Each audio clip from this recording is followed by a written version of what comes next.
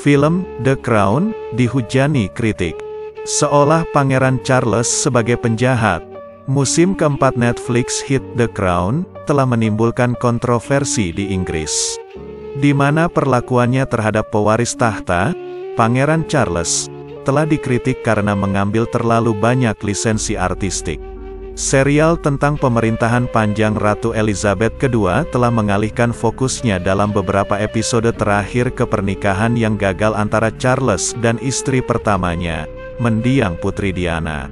Di musim terbaru, aktris Inggris Emma Corrin memerankan sang putri dari pertemuan pertamanya dengan Charles sebagai Lady Diana Spencer muda pada tahun 1977.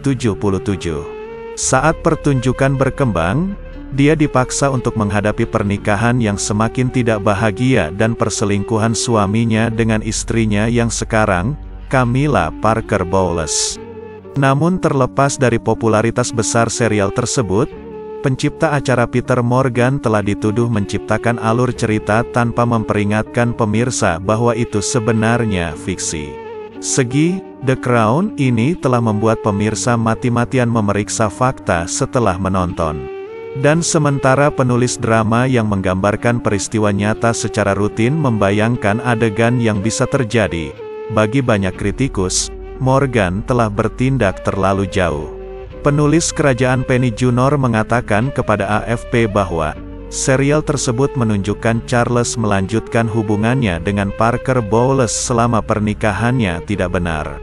Faktanya, mereka tidak bertemu satu sama lain selama lima tahun, kata Junor, yang telah menulis biografi Charles.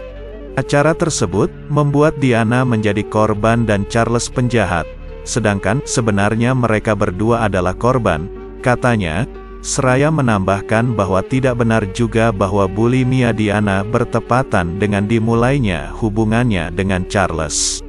Mantan Sekretaris Pers Istana Buckingham Diki Arbiter menggambarkan pertunjukan itu sebagai pekerjaan besar, melawan Charles. Sementara itu, penulis biografi kerajaan Hugo Vickers menyebutnya, benar-benar sepihak, dalam penggambaran Charles dan Diana dan juga mempermasalahkan penggambarannya sebagai suami Ratu Pangeran Philip. Dalam satu adegan dari musim terbaru, Philip memberitahu Diana bahwa jika dia memisahkan diri dari keluarga kerajaan, itu tidak akan berakhir dengan baik. Saya harap itu bukan ancaman, Pak, jawabnya.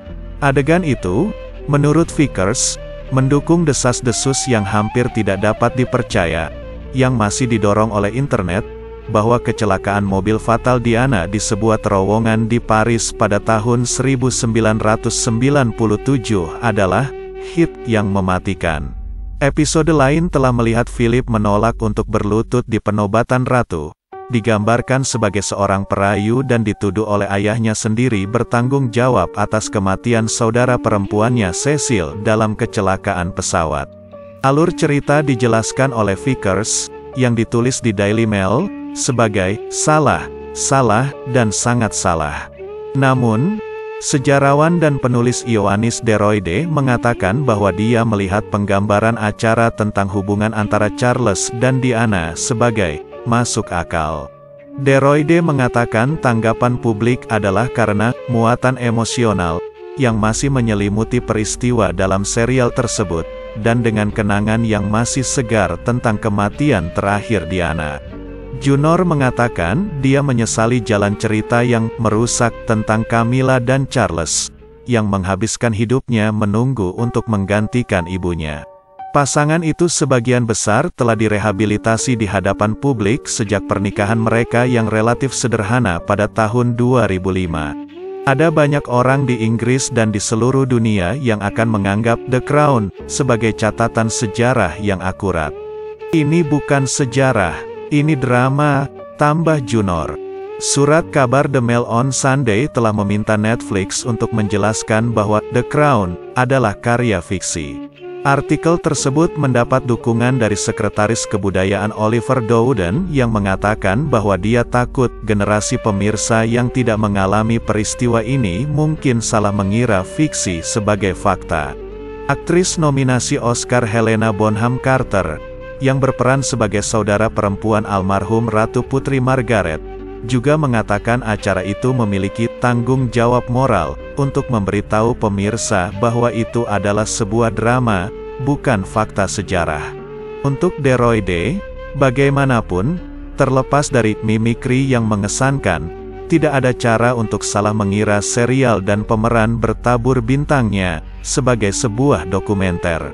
Mahkota hanyalah salah satu elemen di antara banyak elemen yang akan memungkinkan Inggris mengambil keputusan sendiri tentang keluarga kerajaan, katanya.